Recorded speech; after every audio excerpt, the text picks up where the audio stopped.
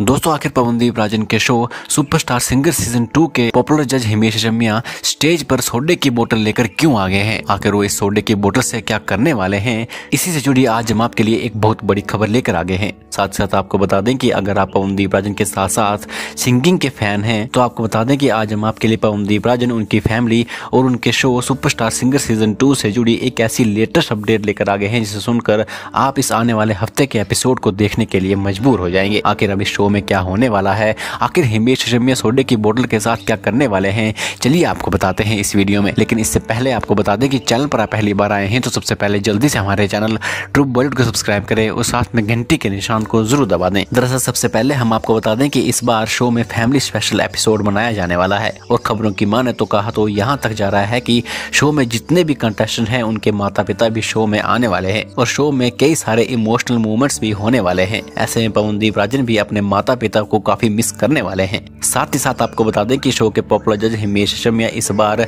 अपने साथ सोडे की बोतल इसलिए लेकर आने वाले हैं क्योंकि हिमेश शमिया और शो के कंटेस्टेंट ऋतुराज के बीच काफ़ी नोकझोंक चलती रहती है। इसलिए हिमेश शमिया ऋतुराज को मनाने के लिए अपने साथ एक सोडे की बोतल लेकर आने वाले हैं। कुल मिलाकर बात करें तो इस आने वाले हफ़्ते के एपिसोड काफ़ी धमाकेदार होने वाले हैं। मैं दोस्तों, क्या आप इस आने वाले हफ़्ते के एपिसोड को देखने वाले हैं या नहीं, हमारे कमेंट बॉक्स में ज़रूर लिखें और ऐसी ही बड़ी बड़ी खबरें जानने के लिए हमारे चैनल को ज़रूर सब्सक्राइब करें।